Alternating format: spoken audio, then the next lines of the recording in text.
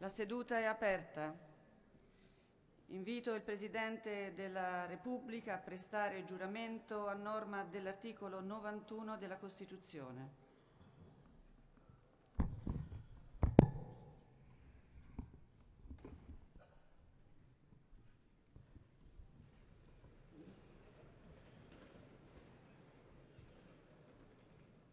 Giuro di essere fedele alla Repubblica e di osservarne lealmente la Costituzione.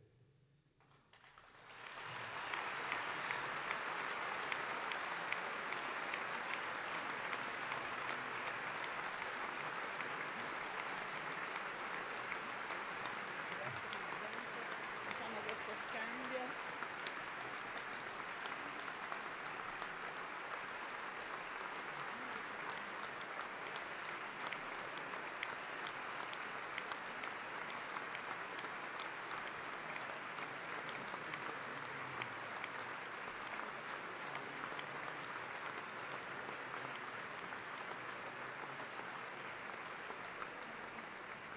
Il Presidente della Repubblica rivolgerà ora il suo messaggio al Parlamento. Invito dunque i membri dell'Assemblea a prendere posto.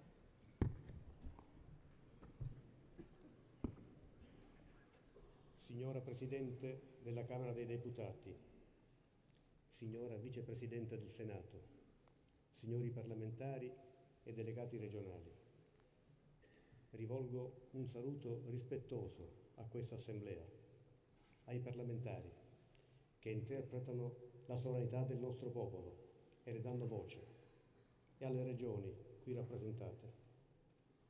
Ringrazio la Presidente Laura Boldrini e la Vicepresidente Valeria Fedeli. Ringrazio tutti coloro che hanno preso parte al voto.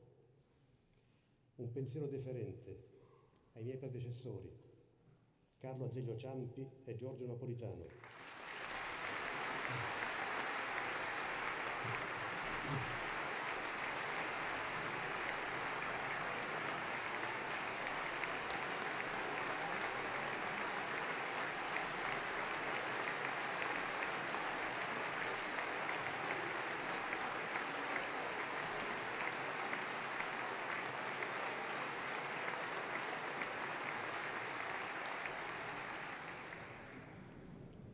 Essi hanno svolto la loro funzione con impegno e dedizione esemplari. A loro va l'affettuosa riconoscenza degli italiani. Al Presidente Napolitano, che in un momento difficile ha accettato l'onere di un secondo mandato, un ringraziamento particolarmente intenso.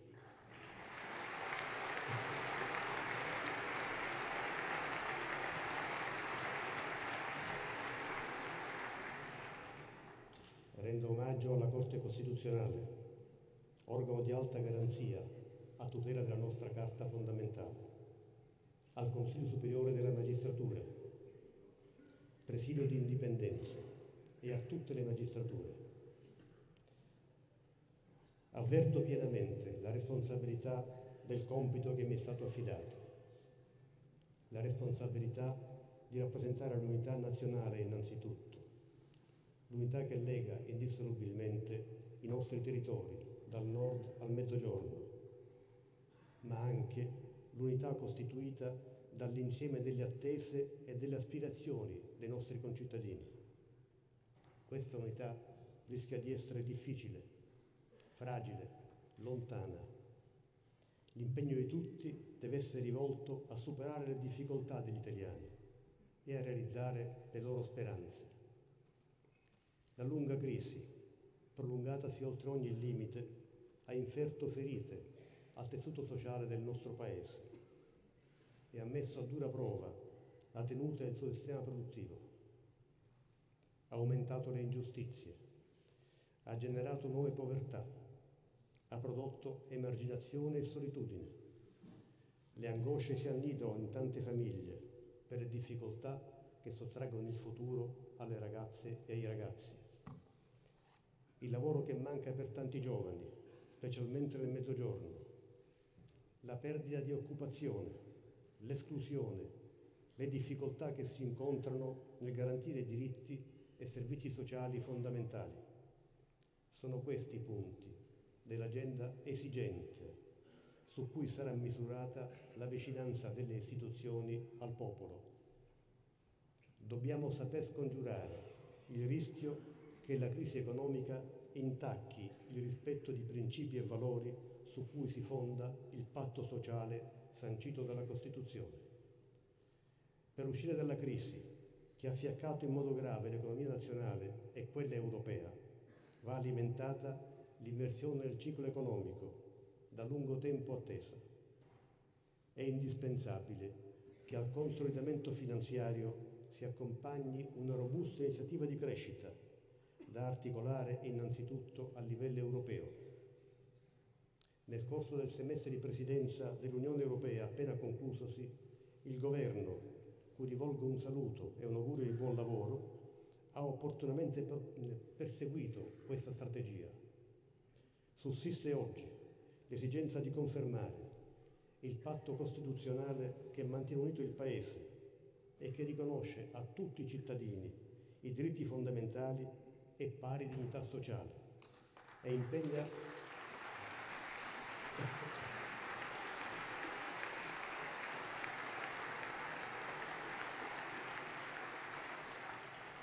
Quel patto impegna la Repubblica a rimuovere gli ostacoli che limitano la libertà e l'eguaglianza. L'urgenza di riforme istituzionali, economiche e sociali deriva dal dovere di dare risposte efficaci alla nostra comunità, risposte adeguate alle sfide che, alle sfide che abbiamo di fronte. Esistono nel nostro Paese energie che attendono soltanto di trovar modo di esprimersi compiutamente. Penso ai giovani che coltivano i propri talenti e che vorrebbero vedere riconosciuto il merito. Penso alle imprese, piccole, medie e grandi, che tra difficoltà rilevanti trovano il coraggio di continuare a, investi- a innovare e a competere sui mercati internazionali. Penso alla pubblica amministrazione, che possiede competenze di valore, ma che deve declinare i principi costituzionali adeguandosi alle possibilità offerte dalle nuove tecnologie e alle sensibilità dei cittadini, che chiedono partecipazione, trasparenza, semplicità degli adempimenti, coerenza nelle decisioni. Non servono generiche esortazioni a guardare al futuro, ma piuttosto la tenace mobilitazione di tutte le risorse della società italiana. Parlare di unità nazionale allora significa ridare al Paese un orizzonte di speranza, perché questa speranza non rimanga un'evocazione astratta, occorre ricostruire quei legami che tengono insieme la società. A questa azione sono chiamate tutte le forze vive delle nostre comunità, in patria come all'estero. Ai connazionali nel mondo va il mio saluto affettuoso, un pensiero di amicizia rivolgo alle numerose comunità straniere presenti nel nostro Paese.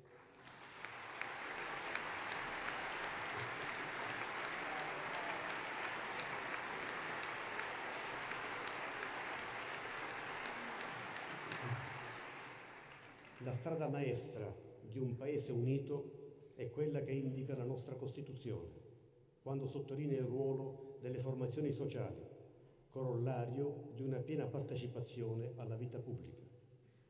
La crisi di rappresentanza ha reso deboli o inefficaci gli strumenti tradizionali della partecipazione, mentre tra società emergono con forza nuove modalità di espressione che hanno già prodotto risultati avvertibili nella politica e nei suoi soggetti.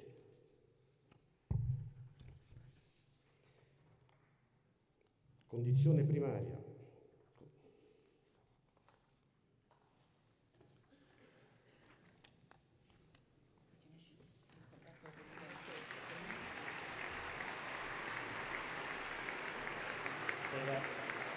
mi sarebbe, mi sarebbe mancato un passaggio importante.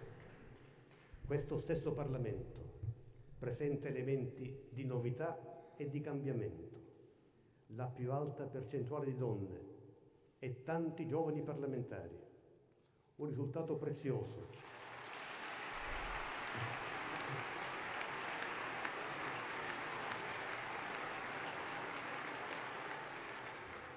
Si tratta di un risultato prezioso che troppe volte la politica stessa finisce per oscurare dietro polemiche e conflitti.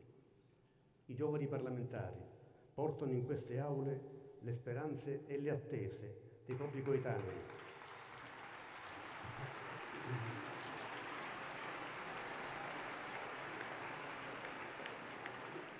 Rappresentano inoltre, con la capacità critica e persino di indignazione, la voglia di cambiare.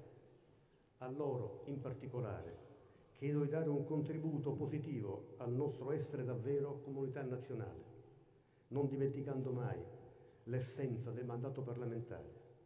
L'idea cioè che in queste aule non sia espressione di un segmento della società o di interessi particolari, ma sia rappresentanti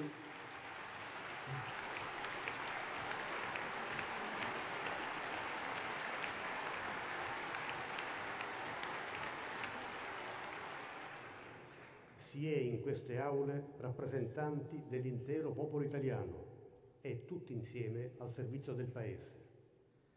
Tutti sono chiamati ad assumere per intero questa responsabilità.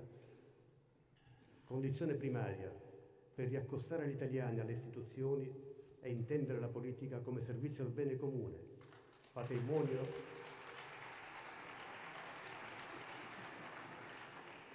patrimonio di ognuno e di tutti.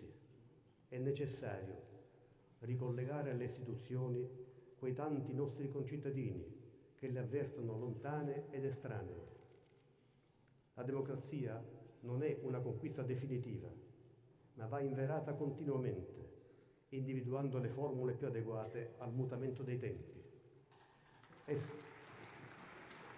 è significativo che il mio giuramento sia avvenuto mentre sta per compiersi il percorso di un'ampia e incisiva riforma della seconda parte della Costituzione senza entrare nel merito delle singole soluzioni che competono al Parlamento nella sua sovranità, desidero esprimere l'auspicio che questo percorso sia portato a compimento con l'obiettivo di rendere più adeguata la nostra democrazia.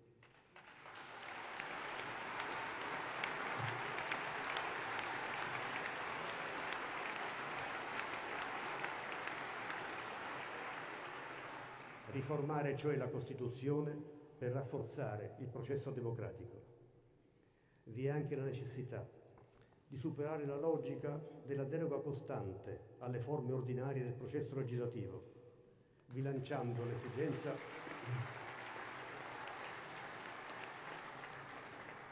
bilanciando l'esigenza di governo con il rispetto delle garanzie procedurali di una corretta dialettica parlamentare.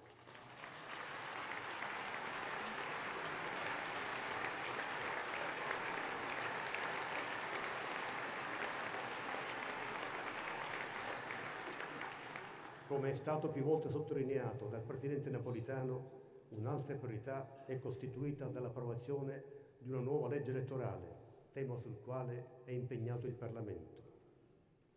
Nel linguaggio corrente si è soliti tradurre il compito del Capo dello Stato nel ruolo di un arbitro, di garante della Costituzione. È un'immagine efficace. All'arbitro compete la puntuale applicazione delle regole L'arbitro deve essere e sarà imparziale.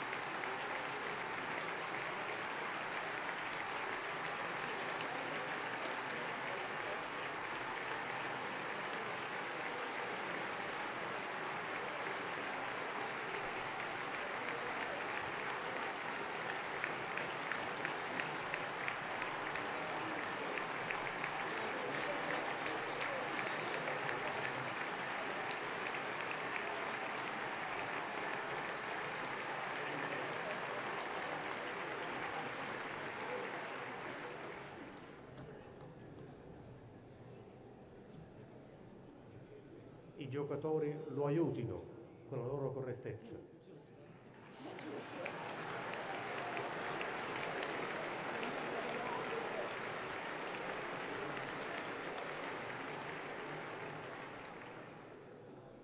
Il Presidente della Repubblica è garante della Costituzione.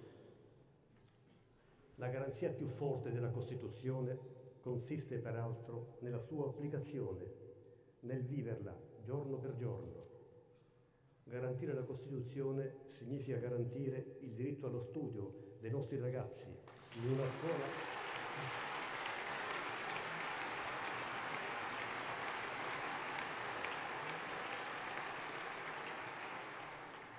il diritto allo studio in una scuola moderna in ambienti sicuri.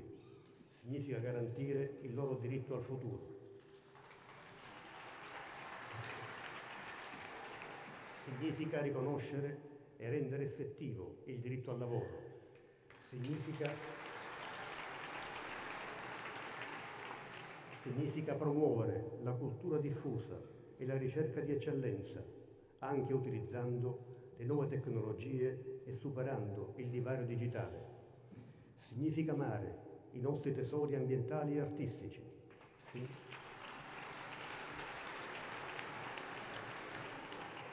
Significa ripudiare la guerra e promuovere la pace.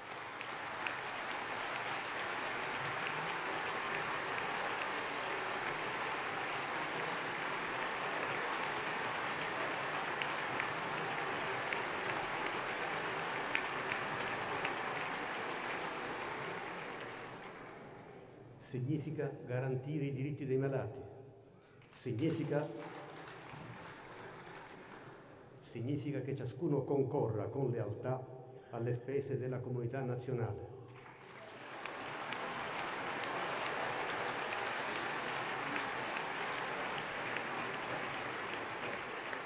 Significa che si possa ottenere giustizia in tempi rapidi. Significa significa fare in modo che le donne non debbano avere paura di violenze e discriminazioni.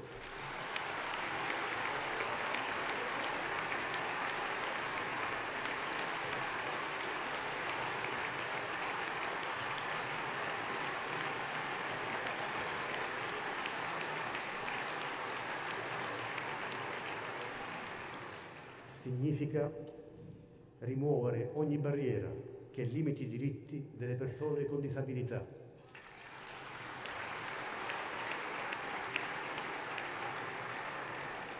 Significa sostenere la famiglia, risorsa della società.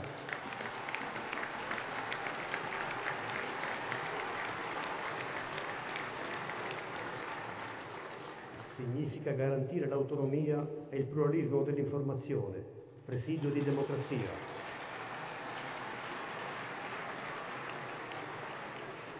significa ricordare la resistenza e il sacrificio di tanti.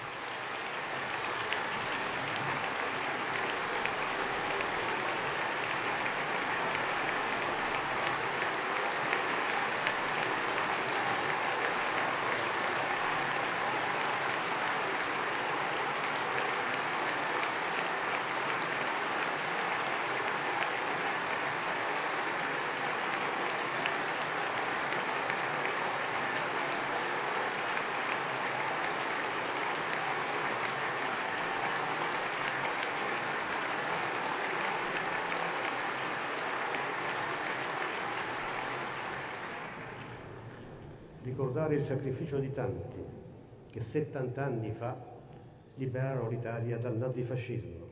Significa libertà, libertà come pieno sviluppo dei diritti civili, nella sfera sociale come in quella economica, nella sfera personale e affettiva.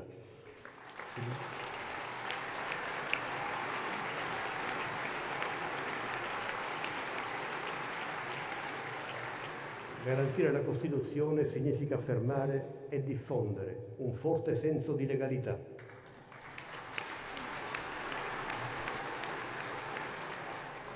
La lotta alla mafia e quella alla corruzione sono priorità assolute.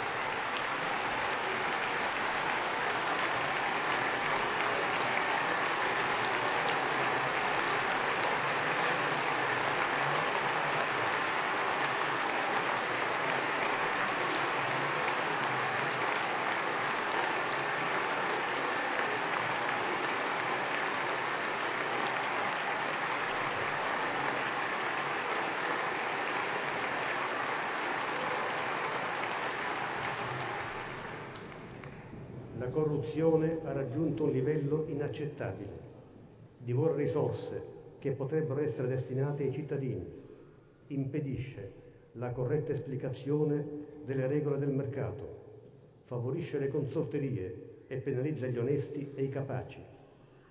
L'attuale pontefice Francesco, che ringrazio per il messaggio di auguri che ha voluto inviarmi,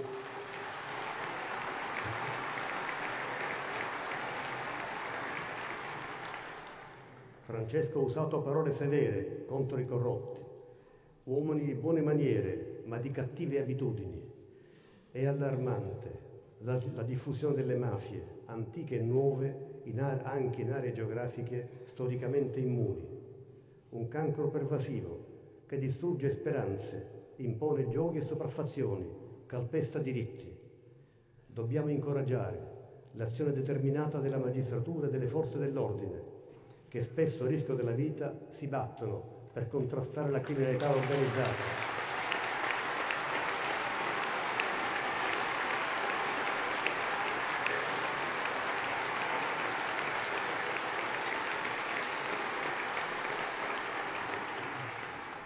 Nella lotta alle mafie abbiamo avuto molti eroi, penso tra gli altri a Giovanni Falcone e Paolo Borsellino.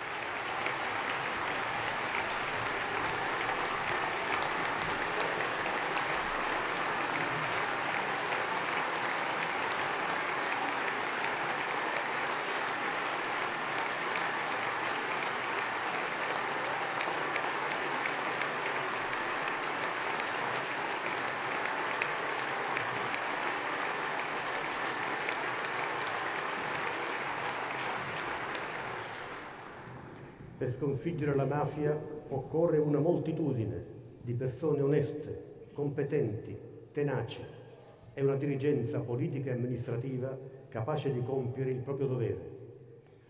Altri rischi minacciano la nostra convivenza. Il terrorismo internazionale ha lanciato la sua sfida sanguinosa, seminando lutti e tragedie in ogni parte del mondo e facendo vittime innocenti. Siamo inorriditi dalle barbare decapitazioni di ostaggi, dalle guerre e dagli eccidi in Medio Oriente e in Africa, fino ai tragici fatti di Parigi.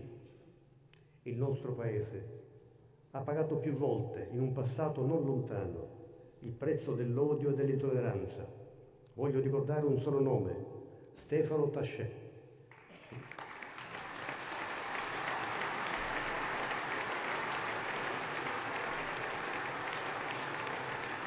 Stefano Tascè è rimasto ucciso nel vile attentato alla sinagoga nell'82 a Roma. Aveva solo due anni, era un nostro bambino, un bambino italiano.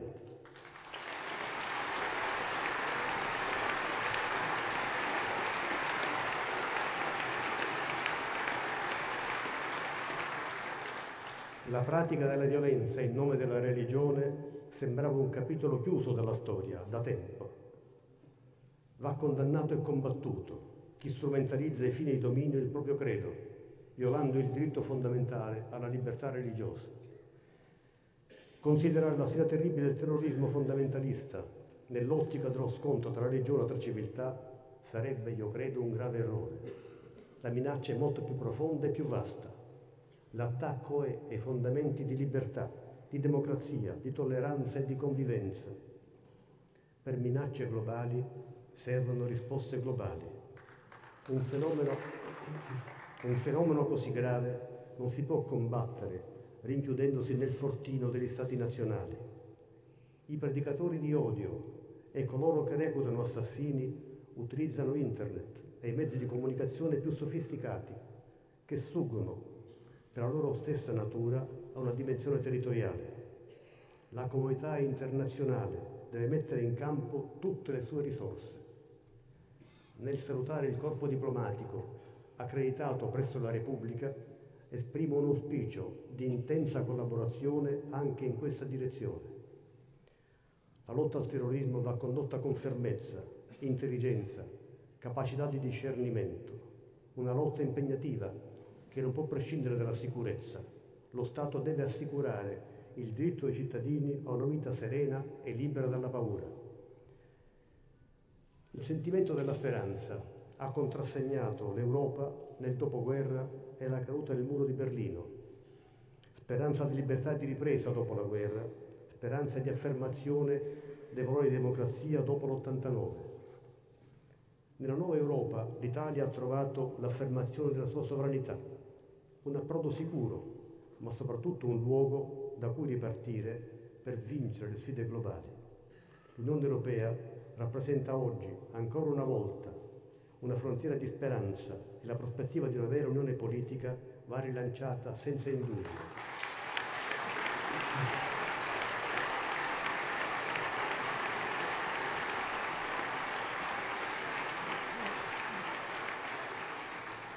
L'affermazione dei diritti di cittadinanza rappresenta il consolidamento del grande spazio europeo di libertà, sicurezza e giustizia.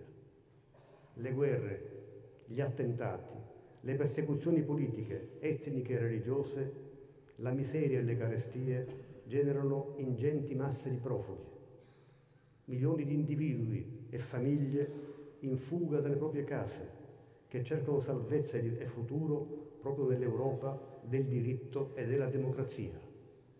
È questa un'emergenza umanitaria grave e dolorosa che deve vedere l'Europa più attenta, l'Unione Europea più attenta, impegnata e solidale. L'Italia ha fatto, l'Italia ha fatto e sta facendo bene la sua parte e siamo grati no, a tutti i nostri operatori, ai vari livelli, per l'impegno generoso con cui fronteggiano questo drammatico esodo.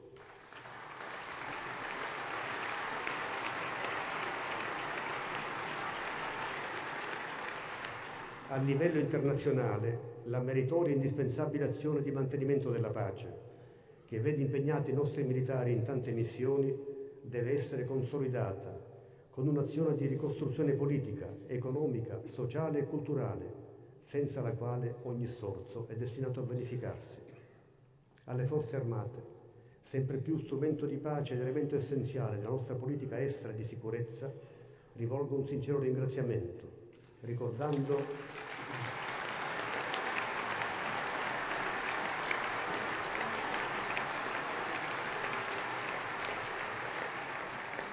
ricordando quanti hanno perduto la loro vita nel solvimento del loro dovere. Occorre continuare a dispiegare il massimo impegno affinché la delicata vicenda dei due nostri fucilieri di marina, Massimiliano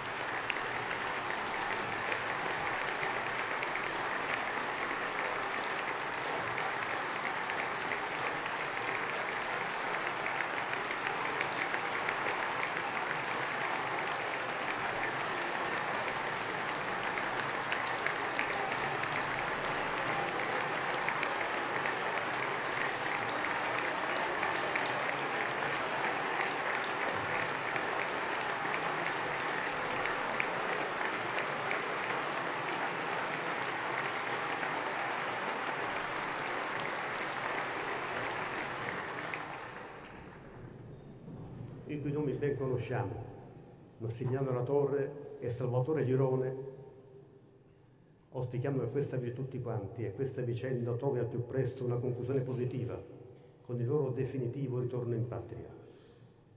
Desidero rivolgere un pensiero ai civili impegnati in zone spesso rischiose nella preziosa opera di cooperazione e di aiuto allo sviluppo.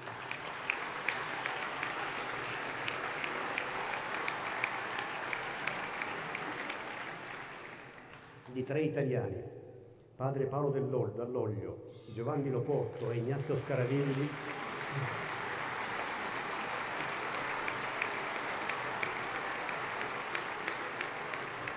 non si hanno notizie della loro sorte in terre difficili e martoriate.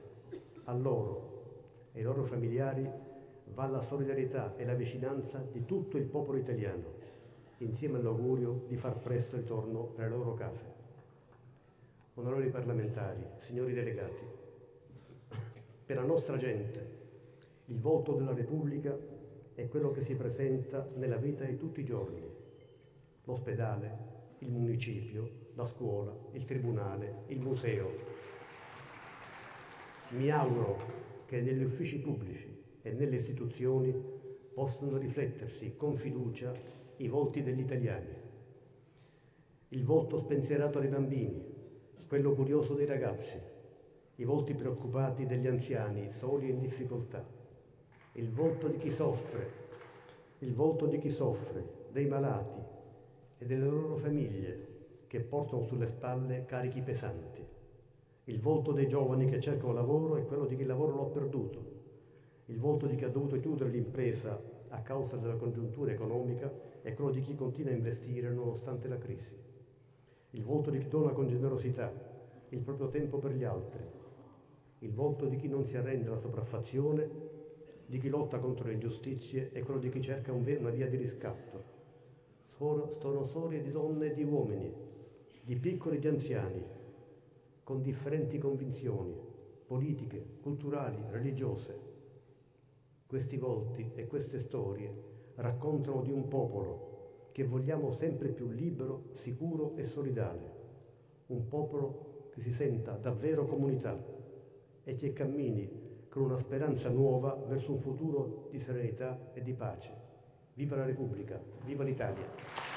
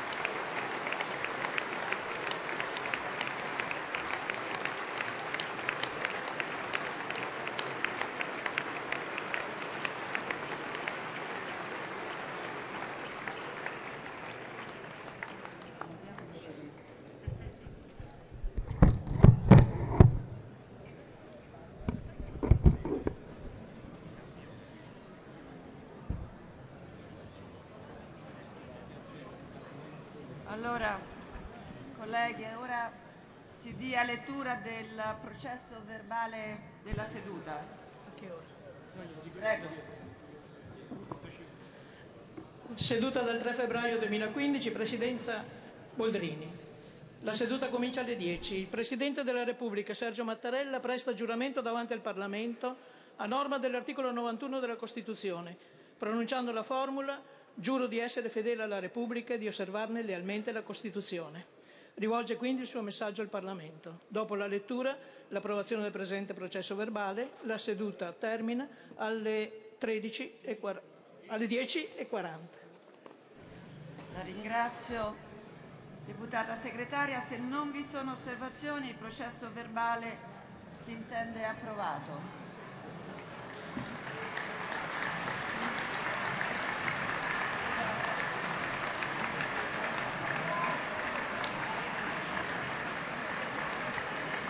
La seduta è tolta.